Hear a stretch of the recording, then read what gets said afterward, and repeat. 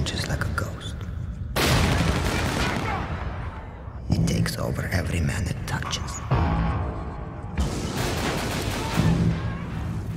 Its thirst cannot be quenched until the last man standing has fallen.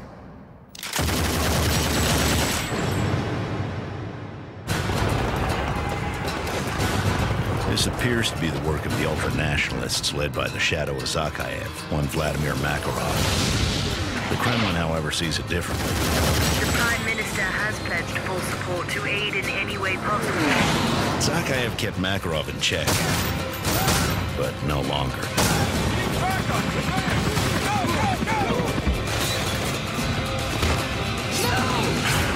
The world's men of action will look and wonder how it came to this. He's got a contact in Rio.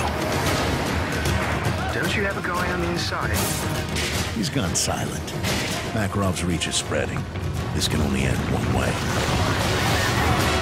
You may be able to destroy me. But the beast will eventually come for you.